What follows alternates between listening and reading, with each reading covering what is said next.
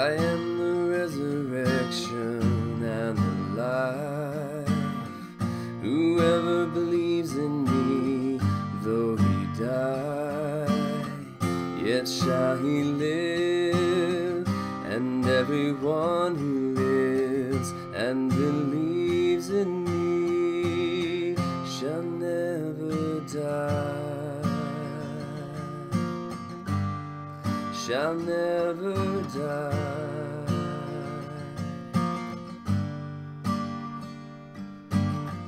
I am the resurrection and the life. Whoever believes in me, though he die, yet shall he live. And everyone who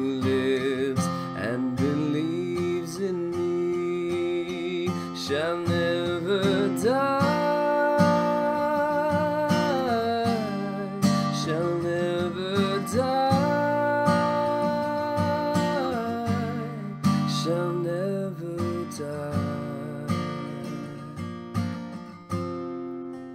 Do you believe this? Do you believe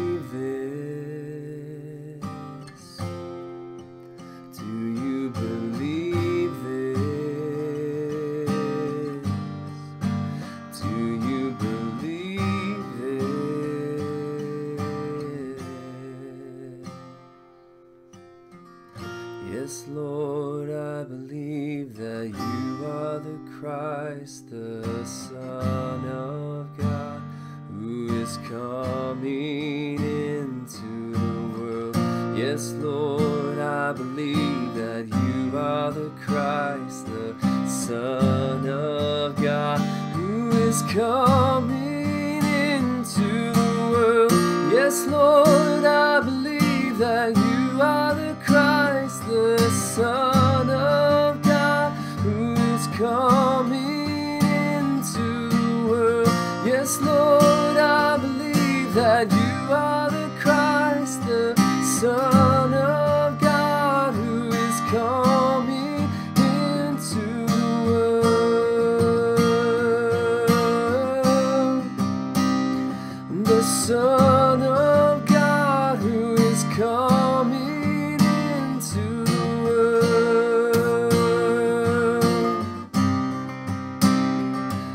The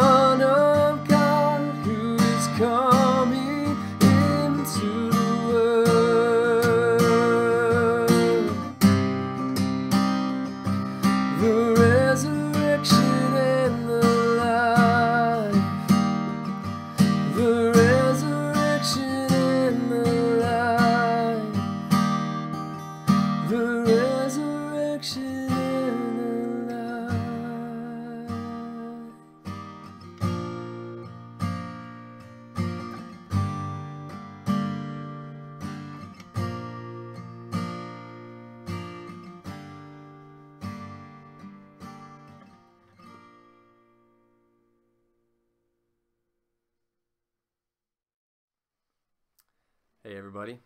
Uh, well, that was the latest scripture song for John chapter 11, verses 25 through 27.